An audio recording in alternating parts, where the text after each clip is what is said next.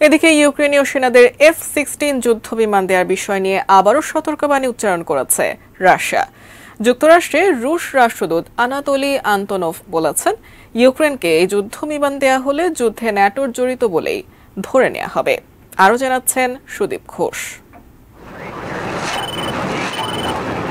বেশ কয়েক মাস ধরেই পশ্চিমা মিত্রদের কাছে অত্যাধুনিক যুদ্ধবিমান চেয়ে আসছিলেন ইউক্রেনের প্রেসিডেন্ট ভলোদিমির জোনস্কি সর্বশেষ জি সেভেন সম্মেলনে জো বাইডেন ইঙ্গিত দিয়েছেন পশ্চিমা মিত্ররা ইউক্রেনকে এফ সিক্সটিন যুদ্ধবিমান দিতে চাইলে সহযোগিতা করবে যুক্তরাষ্ট্র। By withdrawing its troops from Ukraine, internationally recognized borders, and ceasing its assault. তবে এ বিষয়ে সতর্ক করে দিয়েছেন যুক্তরাষ্ট্রের রুশ রাষ্ট্রদূত আনাতলি আন্তনভ তিনি বলেছেন ইউক্রেনকে এফ সিক্সটিন যুদ্ধবিমান দেওয়া হলে এই যুদ্ধে ন্যাটো জড়িত থাকা নিয়ে প্রশ্ন উঠবে।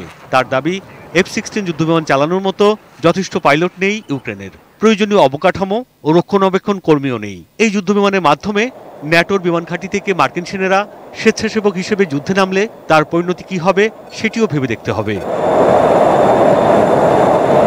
তবে বিষয়টি নিয়ে জো বাইডেন জানিয়েছেন, এই যুদ্ধবিমান শুধু ইউক্রেনীয় ভূখণ্ডেই ব্যবহার করার আশ্বাস পেয়েছেন জেলনস্কির কাছ থেকে।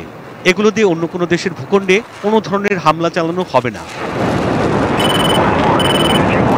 বাইডেনের এমন বক্তব্যের জবাবে আন্তনব বলেন দু হাজার চোদ্দ সালে রুশ দখলকৃত ক্রিমিয়াতে কোনো ধরনের হামলা হলে তা রাশিয়ার উপর হামলা বলেই বিবেচিত হবে। তিনি বলেন, রাশিয়ার প্রতিক্রিয়ার জন্য যুক্তরাষ্ট্রের পুরোপুরি সচেতন থাকা প্রয়োজন।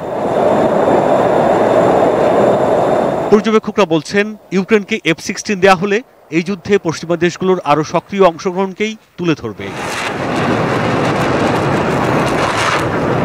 Sudip Ghosh, desk report এটিন news.